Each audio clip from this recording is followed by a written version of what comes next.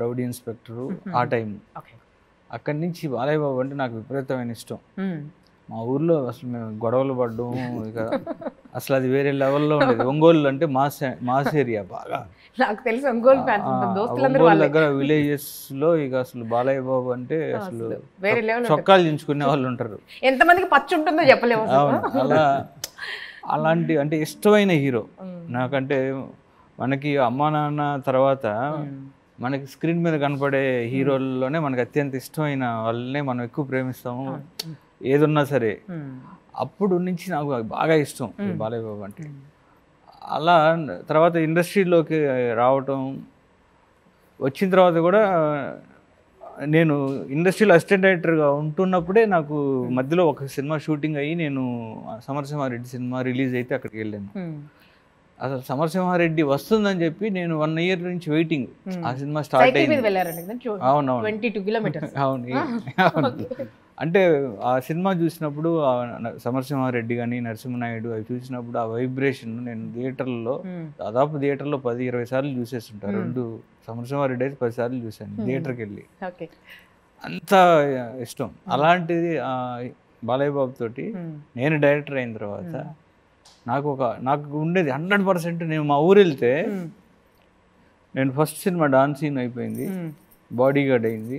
బలుపు పండగ చేసుకో విన్నర్ ఇవి చేసుకుంటూ వెళ్తున్నప్పుడు సినిమా అయిపోయిన తర్వాత నేను మా ఊరు వెళ్తా.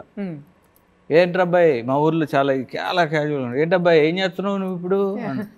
అది ఇట్లా బాలయ్యతో ఎప్పుడు సినిమా? అంటే వాళ్ళకి వాళ్ళకి నేను ఇంకేం చేసినా కాదు. బాలయ్యతో సినిమా చేయి అప్పుడు మాతో మాట్లాడనట్టు వాళ్ళు ఊర్లో. అంటే అంత ఫ్యాన్స్ ఊరు ఊరు ఊరు ఫ్యాన్స్ అసలు అప్పుడు అంటే నేను వాళ్ళ పాయింట్ ఆఫ్ వ్యూలో నేను బాలయ్య బాబుతో డైరెక్ట్ చేస్తే నేను డైరెక్టర్నేమో. అనేది అంత ఉండేవాళ్ళు. అలా ఉండేది. అప్పుడు నాకు ఒక మంచి ఆపర్చునిటీ. కరెక్ట్గా నాకు క్రాక్ తర్వాత. నాకు కరెక్ట్ టైంలో బాలయ్య బాబుని డైరెక్ట్ చేసే అవకాశం కరెక్ట్ టైంలో వచ్చింది మ్మ్. ఇప్పటి వరకు నేను బా ఎలా చూడాలి హీరోని ఎలా చూడాలి ఎలా ప్రజెంట్ చేయాలి అందరూ డిఫరెంట్ డిఫరెంట్గా ప్రజెంట్ చేశారు.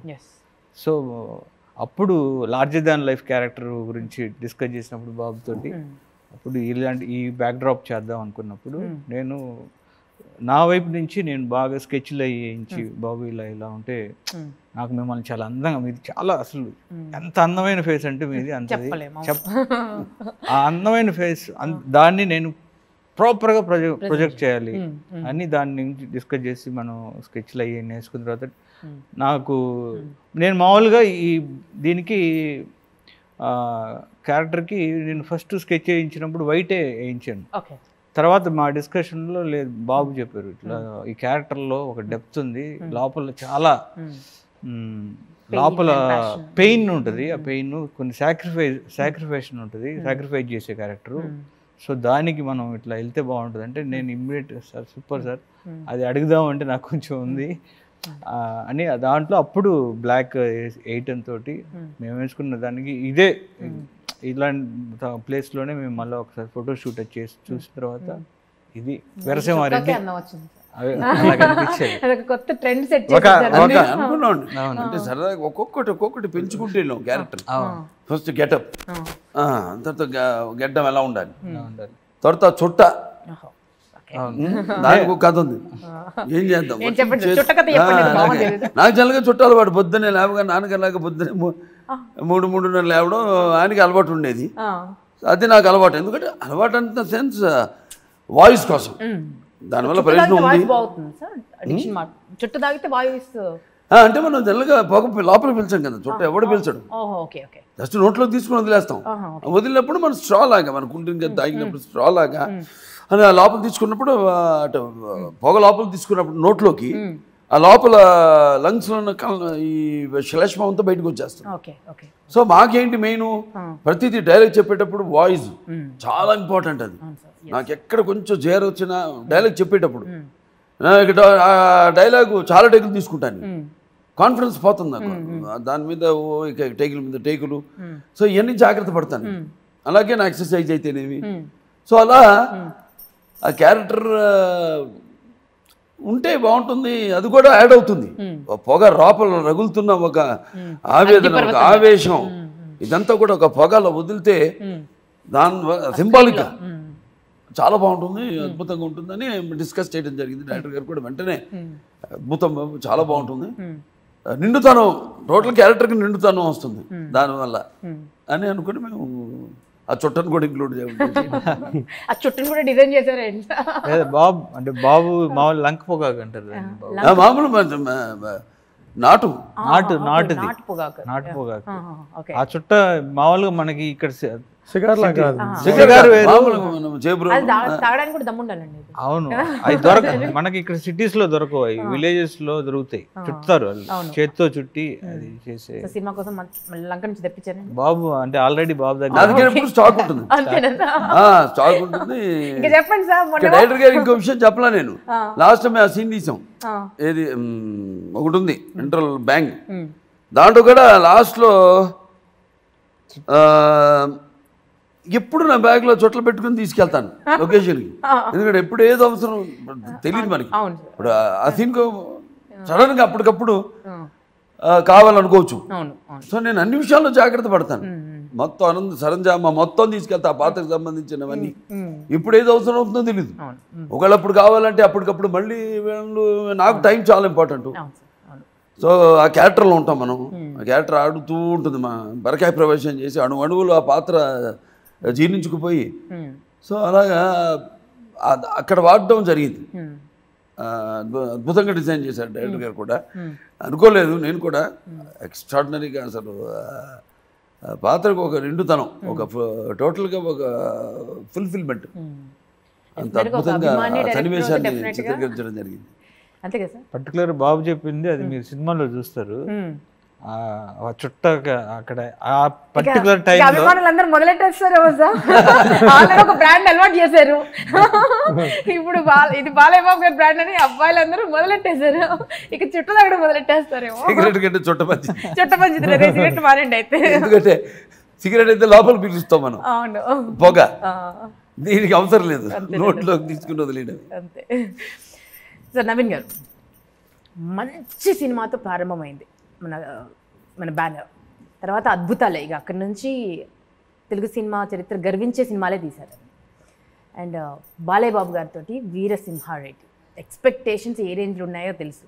ఎటువంటి కాంప్రమైజ్ లేకుండా చేసేటువంటి ప్రొడ్యూసర్ మీకు బాలయ్య బాబు గారితో ప్రొడ్యూస్ చేసినప్పుడు ఏ ఫీలింగ్ ఉండింది? అండ్ uh, ఏమేం uh, జాగ్రత్తలు తీసుకున్నారు? బాలబాబు గారితో సినిమా చేయాలనేది ఒక డ్రీమ్ అండి ఇండస్ట్రీ వచ్చినప్పటి నుంచి అనుకుంటున్నాం. మాకు ఇప్పటికీ కుదిరింది. అండ్ ఆ ప్రాజెక్ట్ సెట్ అయినప్పుడు that's one of the happiest moments for me. ఇంకా తర్వాత డైరెక్టర్ గారు స్టోరీ చెప్పినప్పుడు వీఆర్ సో కాన్ఫిడెంట్ ఇది ఇంకా షూర్ షార్ట్ బ్లాక్ బస్టర్ అని ఆ రోజే మాకు విజువల్ కనపడింది. సో ఇంకా అప్పటి నుంచి ఈ సినిమాకి ఏం కావాలి? మా సైడ్ నుంచి ఎక్కడ కాంప్రమైజ్ అవ్వకుండా అంతా చేయాలి. అని ఎక్కడ భయపడకుండా బ్రహ్మాండంగా చేసాము. మాకు ఇంకా బా బాలయ్య బాబు గారు అనవసర ఆయన career one of the best performance ఇది. ఆయన త్రీ షేడ్స్లోనూ ఇంకా ఆయన విశ్వరూపం చూపించారు. అట్లాగే గోపిచంద్ గారు డెఫినెట్గా టిల్ డేట్ ఆయన బెస్ట్ ఫిలిం ఇది. అంత బ్రహ్మాండంగా వచ్చింది. So we are so confident. అంటే ఇంత కాన్ఫిడెంట్గా చాలా తక్కువ సినిమాల్లో ఉంటాం. మ్మ్. మేము చాలా రిలాక్స్గా ఉన్నాం.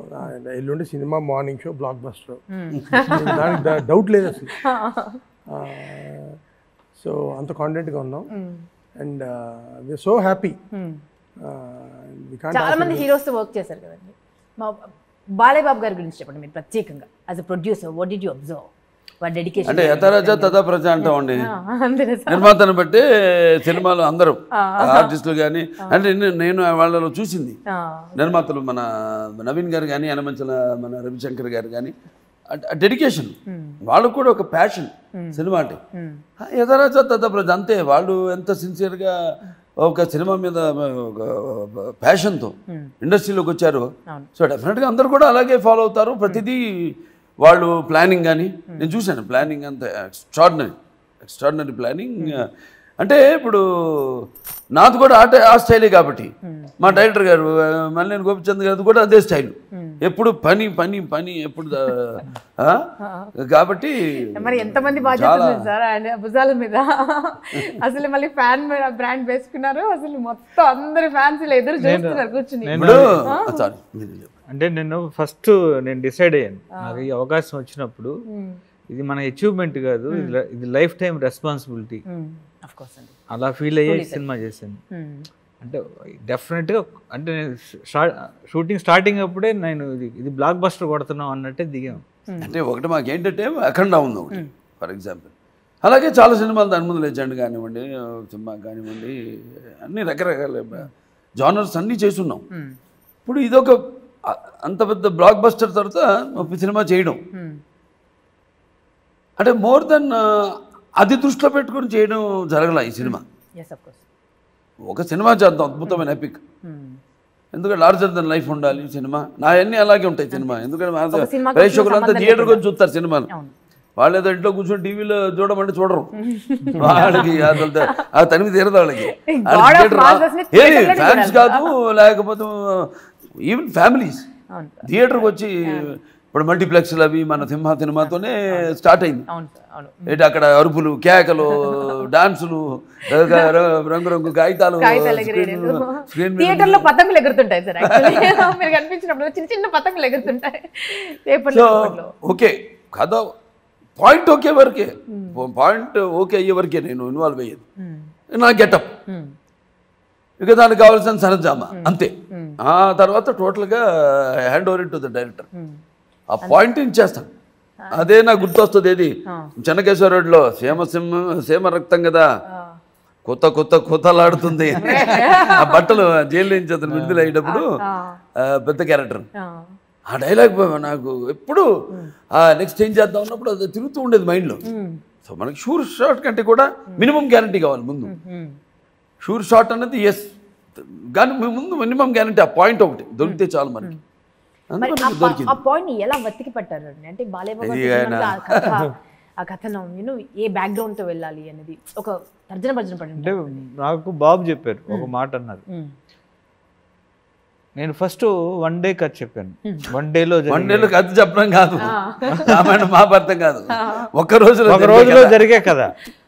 ఒక్కరోజు ఈ సినిమా జరిగింది. ఫస్ట్ అసలు అంకురం అక్కడ పడింది. ఫస్ట్ అక్కడ అక్కడ ఒక రోజులో ప్రారంభమైంది. ఒక రోజులో ఒక సిక్స్ అవర్స్లో జరిగే ఒక కథ.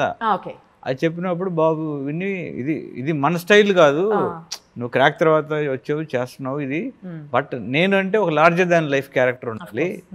ఆడియన్స్ నుంచి నా నుంచి ఇప్పుడు మనం చేస్తున్నాం అంటే ఎక్స్పెక్టేషన్ వేరే ఉంటుంది. లార్జర్ దాన్ లైఫ్ ఉండాలంటే ఇమ్మీడియట్గా నాకు వెనక ఒక యాజ్ ఏ ఫ్యాన్ బాయ్గా నాకు వెనక పొరల్లో ఎప్పటి నుంచో ఒకటి ఉంది. అది బయటికి తీసి బాబు ఇలా ఉంటుంది అని దాచిపెట్టారు అది ఆ అవకాశం కరెక్ట్గా నాకు అంటే ఎవరైనా సరే మనకి ఏదైనా ఒకటి ఎతికి పట్టాలి. అది చిన్న అది బాబు లార్జర్ దాన్ లైఫ్ అనగానే టప్పర్ నాకు అది బయటికి తీసి ఇది కదా. ఇమ్మీడియట్గా చెప్పారండి? జస్ట్ ఈ రోజు చెప్పారు. నేను నెక్స్ట్ డే చెప్పేసాను. అంటే నాకు అంటే ఆల్రెడీ ఉంది అది. నా ఆలోచనలో ఉంది. బాబు ఫోన్ చేసి మాట్లాడిన కలిసిన తర్వాత విత్ ఇన్ హాఫ్ అన్ అవర్లో నేను డిసైడెడ్ ఇది చెబుదామని. కానీ కలిసే time next day okay okay. So అరగంటలోనే మళ్ళీ డిసైడ్ అయిపోయి అంతే అంతే. ఏదైనా ఒకసారి కలుస్తా ఉండి ఇంకో రెండు సార్లు కలుస్తాం అంతే. సబ్జెక్ట్ మీద. ఆ. తర్వాత నెక్స్ట్ మూడోసారికి అయిపోవాల్సింది కన్ఫర్మ్ అయిపోవాల్సింది.